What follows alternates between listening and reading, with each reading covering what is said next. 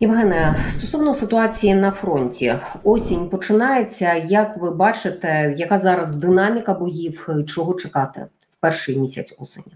Ой, Пані Олено, давайте відверто скажу вам, що останні а, три тижні, напевно, місяць, ось весь е, серпень пройшов а, в такому, знаєте, в якомусь напівпанічному відчаї, навіть у тих, хто два з половиною роки е, на війні, е, не виходячи з передку, е, тому що були дуже серйозні просування росіян на Донбасі. Вам про це відомо, ви це бачите з Діпстейту і так далі. А, але ось зараз, е, коли там росіяни підійшли до Селідова, ви знаєте ситуацію, яка сталася з Новогродівкою, що її ворог там штурмував, штурмував, штурмував, але від, від того часу, коли почалися штурми, Новогродівка була взята доволі швидко. Це 3-4 дні. Про це там і Бутусов розповідав не так давно. І скажу вам, що ці факти, ну прям серйозно. Е- я навіть не скажу, що це паніка. Просто опускалися руки. Незрозуміло було, чому, як, е, коли це завершиться. І саме ключове там. е, Ви ж знаєте, що бутували думки, що це якась там здача і так далі. і так далі. Але е, скажу вам, що є деякі сигнали. Я думаю, що на протязі найближчого часу ви їх почуєте. Є деякі сигнали, що все ж таки це ніяка не зрада, а частина плану командування, що дуже хочеться вірити. Е, і тому я ж кажу, навіть трохи моральний бойовий дух хлопців, наприклад, там які, поруч зі мною е, служать і виконують свою роботу. Е, моральний дух трохи піднявся. Трохи підняла е, моральний дух ситуація, та що на Курщині на, на Курську про е, зараз діється. Але скажу, попри те, у неї якби багато граней. Там з одної сторони, е, начебто, ми сповнили там фонд обмінний, перенесли війну на територію ворога. Але коли такі події трапляються на Донбасі, е, ну нагальне питання, чи на часі була ця історія. Ну знову ж таки, єдина, єдине на що зараз є віра, єдине, що мотивує, це віра в те, що дійсно це якийсь план командування, що це не ряд розкиданих хаотичних дій, які не зійдуться в одну точку. Тому на сьогоднішній день, чому я а, чому я про Новогродівку задаю, про Селидове, тому що до Селидова, коли підійшли, то, то, то було очікування, що максимально швидко все відбудеться. До Покровська тут залишаються лічені лічені кілометри. 10 кілометрів це е, три поля, тим паче немає ніяких населених пунктів. І скажу, що на сьогодні наші козаки доволі гідний бій дають їм, дають їм і під Селидово, і на інших ділянках фронту. Тому я ж кажу, де деяка віра, ось саме останні 4-5 днів, останній тиждень з'явилося, що все ж таки є якийсь план, і цю навалу можна зупинити, сконтролювати, нанести ворогу якомога більше ураження. Але весь е, серпень, скажу вам, пройшов в доволі таких, е, вибачте, уп- упадческих на, на, на настроях і, і, у, і у суспільного громадянства, з ким спілкуємося з прифронтових територій, і у військових також.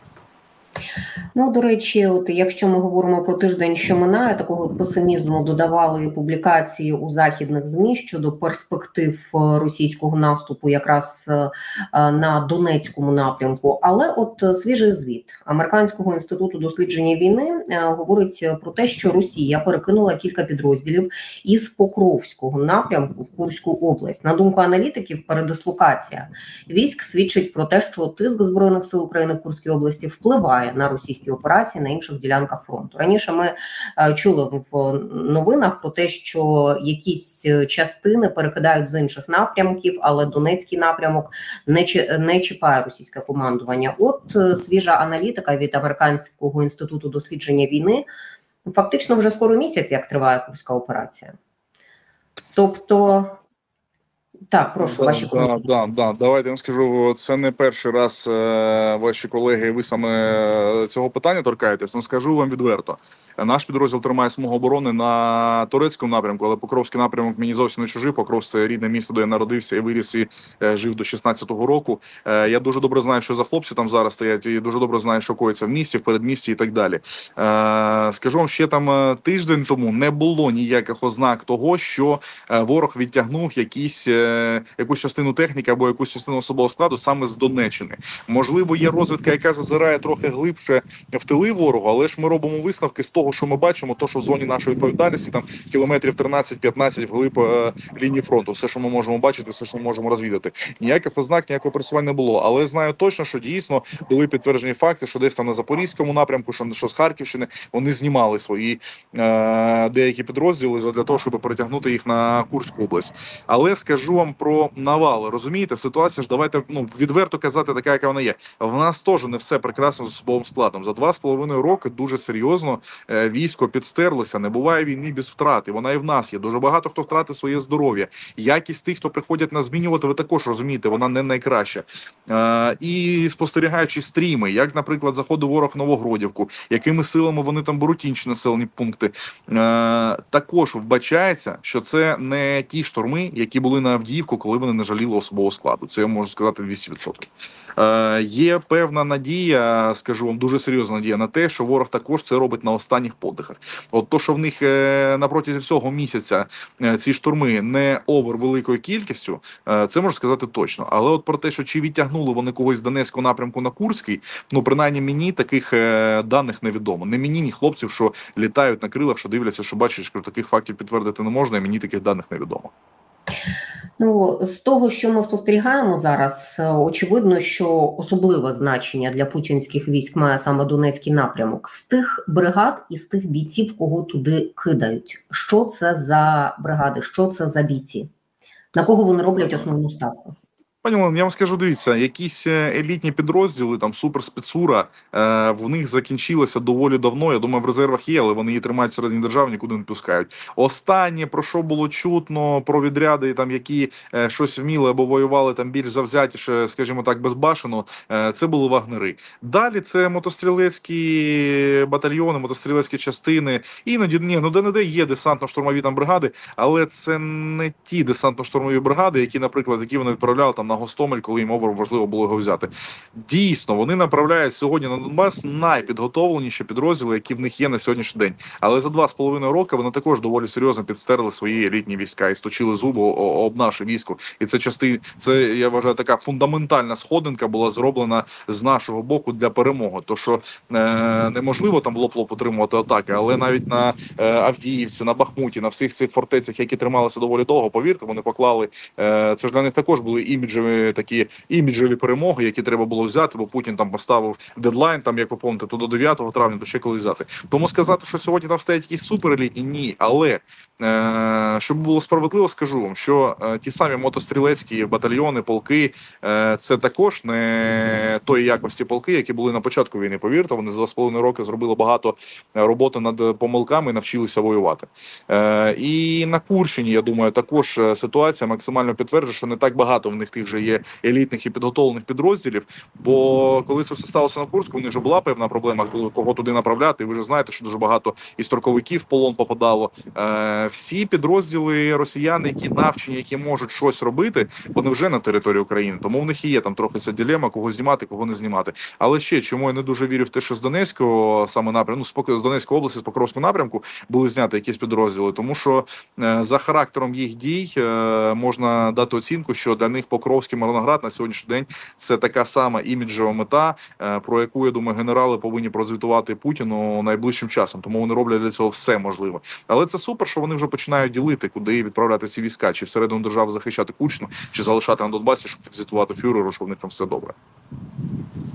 Євгена, оскільки ми говорили, зокрема, з вами велика частина нашої сьогоднішньої розмови була присвячена якраз безпілотникам, не можу у вас не розпитати цю історію з призначенням Романа Гладкого, начальником штабу командування сил безпілотних систем. Коментували це у Збройних силах України після появи там низки інформації від е, активістів е, про те, що е, там і дружина гладкого має російське громадянство, і донька в нього виступала у змаганнях під російським прапором. В збройних силах сказали про те, що Роман Гладкий проходив спеціальну підготовку в Канаді з початком широкомасштабної агресії, виконував завдання на різних напрямках, зокрема під час організації протидесантної оборони узбережжя Одеси. Що ви, от що військові говорять про це призначення? Зокрема, ті, які займаються безпілотними системами. Давайте вам скажу так. Поки хлопцям, які, наприклад, сидять в нашому рубаку, це рота безпілотних авіаційних комплексів, не дуже зрозуміла концепція, як взагалі воно буде відбуватися далі. Ніхто не розуміє, чи взагалі заберуть підрозділи у лінійних бригад і переведуть е, до е, сил е, БПЛА і так далі. Це перше. Ніхто не розуміє, де воно опиниться, чи залишаться вони при бригадах. Можливо, там будуть створюватися нові батальйони. Це перше. Друге, слухайте, завжди чи є серед громадянського суспільства через і серед військових, ті, хто люблять пообговорювати, ті, хто піддаються там якимось е, розхитуванням інформаційного поля із з боку ворога. І в нас всередині хватає тих людей, які це люблять робити. Тому відверто мені самому вчора попалася стаття. Я читав багато питань до цієї людини. Але ну давайте відверто. В нас е, навіть в найвищому е, в найвищому політичному колі можна багато прізвищ назвати, в кого там в когось дружина, в когось брат, в когось ще хтось. Е, на жаль. На жаль, така ситуація є, але це не може ніяк прогарантувати те, що людина не професійна, те, що вона не буде виконувати свої обов'язки, або буде виконувати. Тут така сама історія, як задавали питання там через 5 днів після того, як був призначений е, генерал е, Сирський на посаду головнокомандувача. А що зміниться, як буде так далі? Тут можна дивитися тільки через призму часу. Тобто підхопити плітки, підхопити інформацію, яка сьогодні є, і наколоти суспільство ще більше, а вже ж можна. Але я вам скажу, що тут ну, доречно буде задавати питання судити тільки через призму часу, як буде, наприклад, е, себе показувати на посаді ця людина. Не можна сьогодні сказати, що от в нього там якісь родичі на території Росії, чи у когось там є е, російське громадянство чи російський паспорт. А це значить, що він там не буде виконувати своїх обов'язків. В житті буває ду- дуже різно буває в житті, і це ніяк не значить, що це професійна людина або навпаки не професійна. Тому тут тільки через призму часу. Я взагалі вважаю, що ну недоречно військових командувачів, е, скажімо так, знаєте, як збирати досьє, і саме за досьє їх е, намагатися давати їм оцінку їхньої професійності. Це не політики, це військові командувачі. Тому тільки час і тільки рішення будуть показувати. Так само як відбулося з заміною главкома. На якихось рівнях, е, от про що зараз говорять хлопці, що про яким на якихось рівнях це додало, але є певні рівні, про які дуже багато, і ваших колег е, говорять, що є певні просадки. Тому ж кажу, тільки через призму часу можна давати оцінку конкретному прізвищу його професійності. Євгене, ну і традиційно на завершення я ще раз проанонсую для наших глядачів. Обов'язково підписуйтеся на соціальні мережі Євгена Ієвлєва, де багато як і оперативної важливої інформації, так і інформації про потреби наших бійців. Знаю, що зараз черговий збір. Розкажіть, будь ласка, нашим глядачам про це детально. Наскільки потреба є нагальною, скільки залишилося ще задонатити, щоб усі охочі змогли просто зараз долучитися. Ну я так розумію, певні бонуси будуть да для переможців і для Так, активних так, так, так, тих, так, хто так. донатить. Прошу, Я, пане. я, я, я почну з бонусів. Мені довелося в травні місяці бути на дуже цікавому навчанні, де, де випала можливість поспілкуватися з е, багатьма е, топ-командувачами нашими військовими, і в тому числі було спілкування з е, керівником е, головного управління розвідки, де він е, підписав нам деякі су- су- сувенірну таку продукцію. Там були підписані прапори, е, і є фотокартки з особистим підписом е, Кирила Олексійовича Буданова.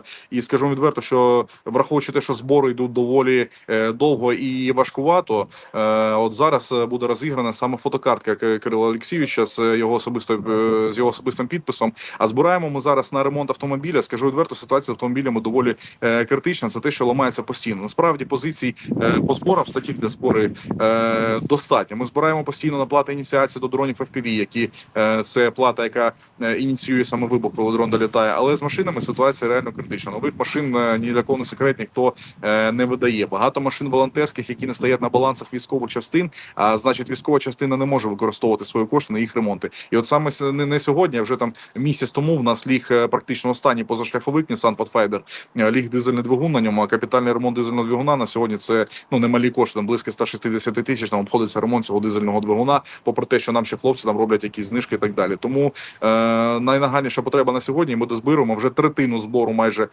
Так, третина збору зібрана. Е, Ми дозбируємо на ремонт саме цього автомобіля, який вже через півтора тижні має бути готовий. Тому, якщо хтось має можливість, має бажання долучитися до нашого збору, то я запрошую на моїх сторінках в інстаграмі, Фейсбуці.